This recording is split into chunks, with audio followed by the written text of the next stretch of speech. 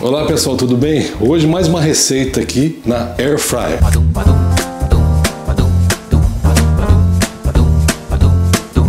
Mostrar para vocês, está aqui ó, o que que tem aqui, peito de frango, eu fiz um tempero, uma laranja espremida, você pode pôr uma ou duas laranjas espremidas, você faz o seu tempero com sal a gosto, pimenta do reino a gosto, você coloca, eu coloquei orégano também que fica muito bom, coloquei alho, também gosto muito de alho, e você pega, pica a cebola, faz ela em fatias de um dedo, corta no meio para que fique sempre uniforme, deixa marinando por uns 10 minutos na geladeira. E agora é hora de assar na air fry. Por 20 minutos a gente vai virar e depois mais 25 minutos e fica pronto. Daqui a pouco eu mostro para vocês essa receita simples, rápida e deliciosa.